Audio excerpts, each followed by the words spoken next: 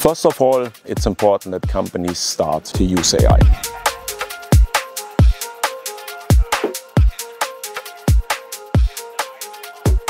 HPE is providing a great fundament with uh, PCAI to do that in an easy way, in a pragmatic way, and also in a sovereign way.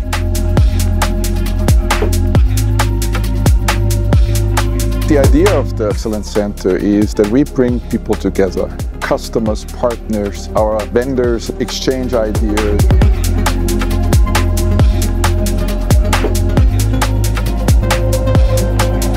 We provide the technology stack, we provide the GPUs, the software on top of that, and the reference architecture, how to build an AI factory. And actually, HPE is building such AI factories at big scale and at small scale, so the customer can decide whether he wants to start small or start big. In both ways, HPE is the right address.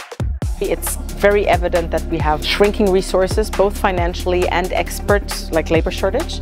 And companies and organizations will have to use AI to create solutions.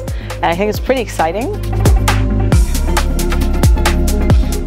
The whole system for Hewlett Packard Enterprise, this PCAI, makes me personally, as the CEO, happy.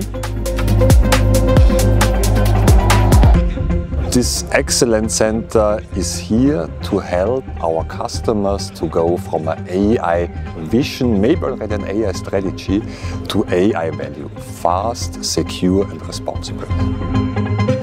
It's important to not be overwhelmed, uh, to take step by step, but to stay ahead and really get informed, come to events like today, see what the others, uh, leaders of the industry are doing, where do they uh, succeed, where they failed, uh, get inspiration and understand the latest uh, news about the technology. Don't make this a one-time event.